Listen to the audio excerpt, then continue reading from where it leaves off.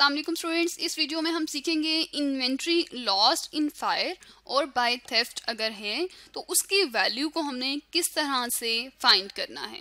यानी value of inventory lost ये हमारे पास हमारा गोदाम है, इसमें जो चीज़ें पड़ी हुई हैं, ये यहाँ पर उसको हम लोग अपनी इन्वेंट्री या स्टॉक कहते हैं, जो हम लोग ज़्यादा चीज़ें लेके रख लेते हैं, ताकि उसे हम लोग बाद में सेल कर सकें। और ये इसमें से अगर कुछ चीज़ें गुम हो जाती हैं वो नुकसान आग की वजह से होता है या चोरी की वजह से होता है, उसकी वैल्यू अगर हमने फाइंड करनी है तो वो वैल्यू किस तरह से फाइंड की जाएगी? तो वो वैल्यू हम किस तरह फाइंड करेंगे? हम इसके लिए बिल्कुल वही मेथड यूज़ करेंगे।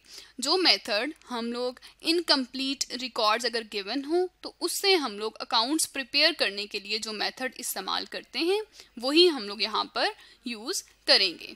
अब वो क्या मेथड होता है, ये भी हम लोग देख लेते हैं। यहाँ पर हमारे पास इनकम स्टेटमेंट के एक्सट्रैक्ट गिवन है, यानी कुछ इन्फॉर्मेशन हमने इनकम स्टेटमेंट की यहाँ लिखी है, पूरी इनकम स्टेटमेंट नहीं है।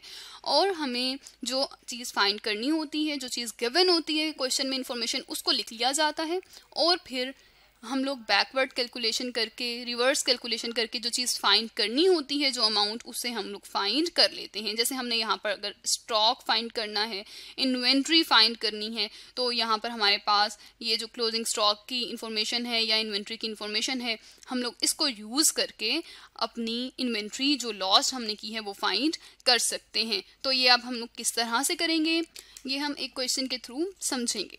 यहाँ पर हमारे पास गिवन है calculate cost of the stolen goods यानी चीज़ें कुछ चोरी हो गई हैं और जो जितनी अमाउंट की चीज़ें चोरी हुई हैं, उसकी वैल्यू यानी उसकी कॉस्ट कितनी है, वो फाइंड करें। यहाँ पर गिवन है Slim supplies the following information Slim ने ये इन्फॉर्मेशन हमें सप्लाई की है, इस इन्फॉर्मेशन को हम रीड करते हैं और देखते हैं क्या इन्फॉर्मेशन है और इस इन्फॉर्मेशन से हम जो लॉस्ट इन्वेंट्री है, उसकी वैल्यू किस तरह से फाइंड कर सकते हैं। The thief stole most of the inventory but left inventory which cost rupees one thousand two fifty यानी जो चोर हैं, उन्होंने बहुत सी इन्वेंट्री, बहुत सा हमारे गोदाम में जो सामान पड़ा हुआ था, वो चोरी कर लिया है। तो उसमें से जो अब सामान हमारे पास बच गया है, उसकी अमाउंट है एक हज़ार दो सौ पचास।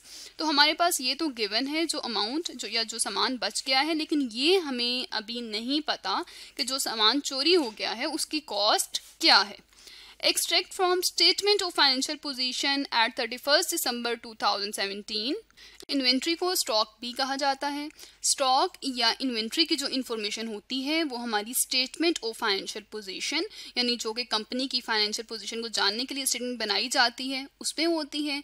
इसलिए यहाँ पर हमें एक्सट्रैक्ट गिवन है। स्टेटमेंट ऑफ़ फाइनेंशियल पोजीशन से कुछ इन्फॉर्मेशन गिवन है। और इस इंफॉर्मेशन में हमारे पास थर्टी फ़र्स्ट दिसंबर 2017 को हमारे पास कितनी इन्वेंट्री है, वो बताया गया है। ट्रेड रिसीवेबल कितने हैं, यानी ऐसे कितने लोग हैं जिनसे हमें जिन्हें जिन्हें हमने सेल्स की हैं और अमाउंट अभी वसूल करनी है, वो भी हमें बताया गया है। ट्रेड पेबल्स कितने हैं, ऐसे कितने लोग हैं जिनको हमने अमाउंट पे करनी है। हमने परचेजेस की हैं, अभी अमाउंट पे नहीं की, वो भी गिवन है। फिर हमारे पास है कि हमने 31 दिसंबर 2017 से लेकर और 10 अप्रैल 2018 तक इस डेट के दरमियान हमारे पास कितनी अमाउंट हमने रिसीव की है अपने कस्टमर से, वो गिवन है, और फिर कितनी पेमेंट्स हमने की हैं, वो भी गिवन है। इसके अलावा इंफॉर्मेशन जो हमारे पास है, ये है रिसीवेबल जो हमारे 10 अप्रैल 2018 को है। ये जो 10 अप्रैल डेट है, ये वो डेट है जिस तारीख को चोरी हुई है।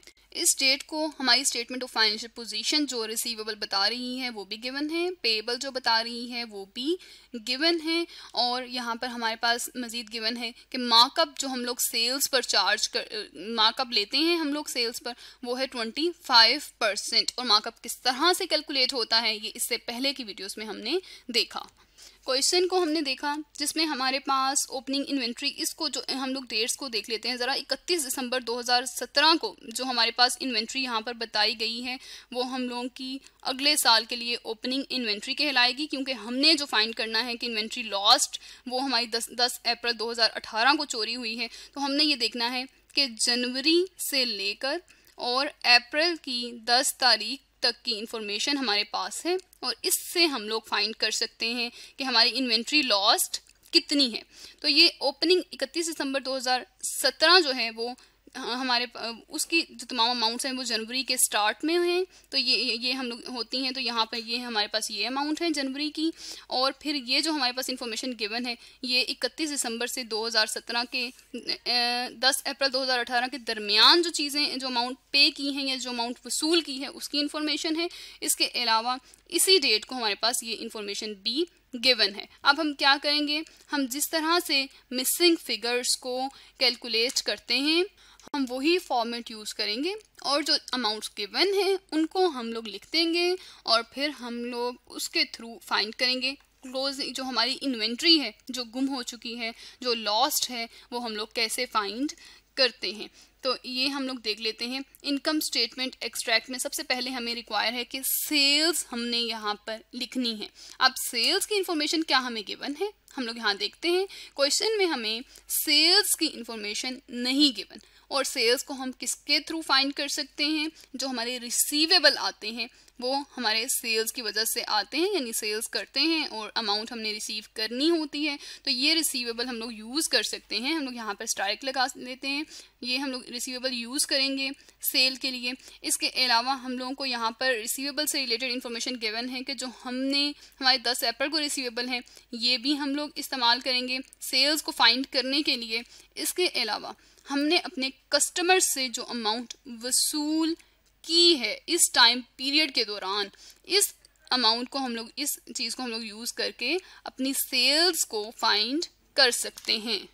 हम यहाँ पर एक अकाउंट रिसीवेबल का अकाउंट बनाएँगे, इसको हम लोग डिटेल में भी देखते हैं। अकाउंट रिसीवेबल का अकाउंट में हम लोग ये हमारे वो लोग होते हैं जिनसे हमने सेल्स करके इनसे भी अमाउंट वसूल करनी होती है। तो इन, इसका अकाउंट रिसीवेबल एसेट होता है।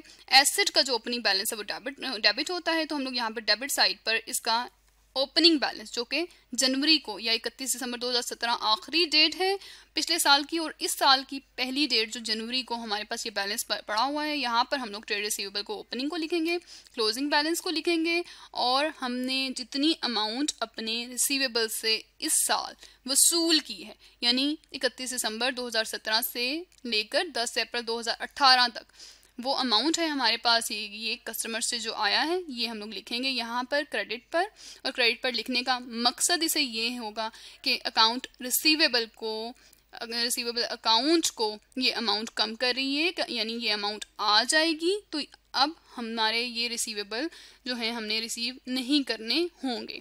तो ये जो हमारे पास आएगा अमाउंट जो हमारे पास टोटल आएगी, इसमें से हम लोग जब अपने ओपनिंग रिसीवेबल माइनस कर देंगे तो हमें ये पता चल जाएगा, इस साल जो, इस टाइम पीरियड के दौरान रिसीवेबल आए हैं, वो कितने हैं? और रिसीवेबल किस वजह से आते हैं? रिसीवेबल सेल्स करने की वजह से आते हैं तो ये हमारे पास सेल्स आ जाएँगी।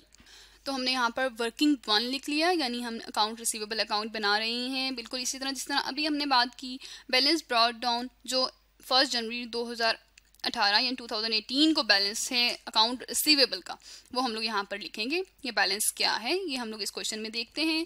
ये है हमारे पास ट्रेड रिसीवेबल्स जो कि 31 दिसंबर 2017 को, यानी 1 जनवरी 2018 को हैं, ये हैं फोर्टी थाउज़ेंड तो ये है ओपनिंग बैलेंस इसको हम लिखेंगे। और जो हमारे पास दस अप्रैल को बैलेंस है इनका, वो लिखेंगे। और जो अमाउंट हम वसूल कर चुके हैं कस्टमर से, उसको हम लोग लिखेंगे।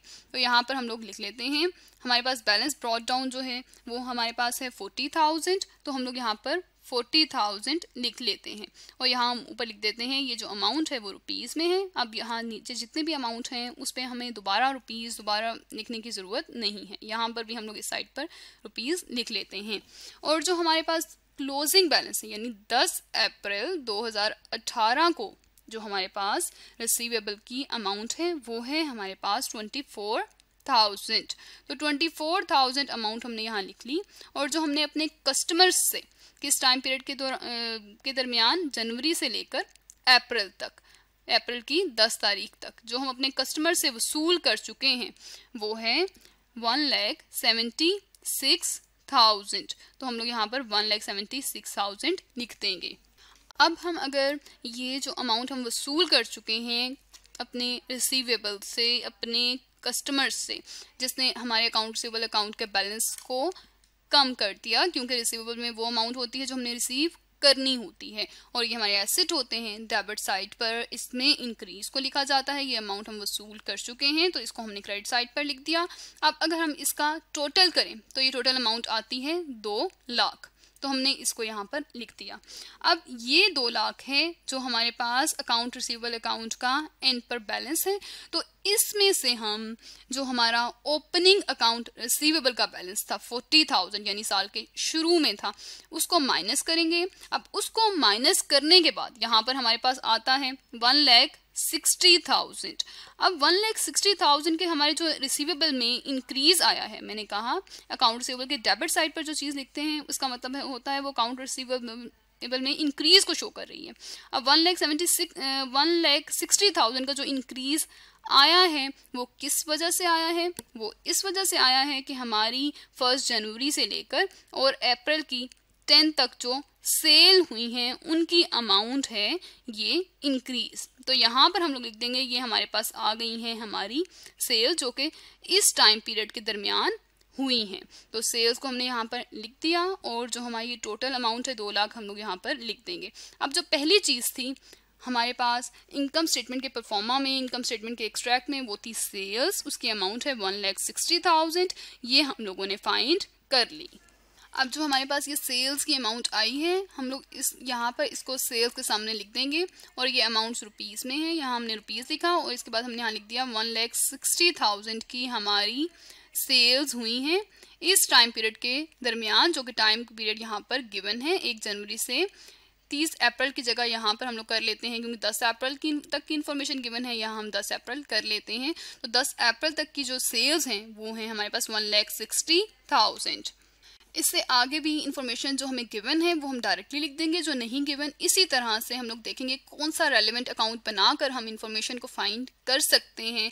तो वो हम लोग फाइंड करेंगे अपनी नेक्स्ट वीडियो में और फिर देखेंगे हमने जो इन्वेंट्री लॉस्ट कर चुके हैं, उसकी वैल्यू हम किस तरह से फाइंड करते हैं।